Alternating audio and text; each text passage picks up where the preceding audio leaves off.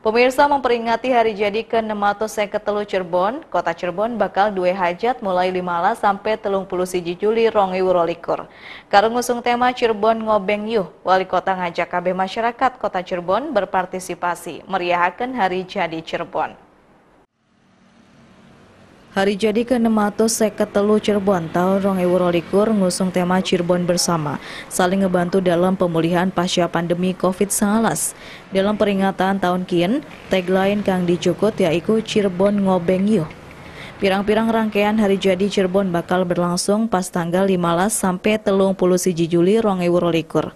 Kegiatan gen beli ke pusat ning siji titik, tapi bakal digelar ning pirang-pirang titik ning kota Cirebon.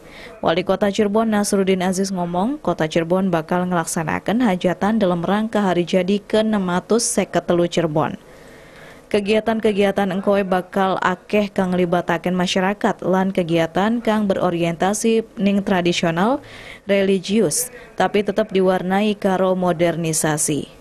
Puncak bengi syukuran bakal diselenggarakan pas tanggal telung puluh siji Juli rongewu rolikur. Dalam kesempatan kuan Aziz jaluk ning media dari bagian sing kepanitiaan Hari Jadi Cirebon. Ambir informasi akan ning dunia, lamun kota Cirebon lagi ngelaksanakan hajatan memperingati Hari Jadi ke-600 seketelu Cirebon. Wahyu Bisana, RCTV Cirebon. Pemerintah Kabupaten Cirebon dan pemerintah Kota Cirebon gawe perjanjian kerjasama. Salah siji dalam mengentasakan persoalan pelayanan masyarakat ning titik perbatasan. Dalam upaya peragatakan persoalan masyarakat ning titik perbatasan kota lan Kabupaten Cirebon, terutama dalam pemberian pelayanan. Pemerintah Kabupaten lan Kota Cirebon gawe perjanjian kerjasama. Selama kian wilayah perbatasan kaya Kelurahan Sukapura sering ana persoalan kang dikeluhakan masyarakat ngenai administrasi kependudukan lan sejene. Jadi lewat perjanjian kang langsung ditandatangani Wali Kota Cirebon lan Bupati Cirebon ning pendopo Bupati Kien diharapkan anak jalan keluar lan solusi.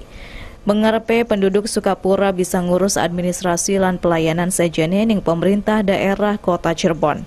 Engkoe jangka waktu kesepakatan kerjasama kien selama limang tahun, lan bakal anak evaluasi unggal tahunnya diharapkan pirang-pirang pelayanan kaya pendidikan, kesehatan, sosial ekonomi lan sejene ning perbatasan kota lan Kabupaten Cirebon ana kejelasan. Jadi beli timbul masalah maning. Husen Sadra, RCTV Cirebon.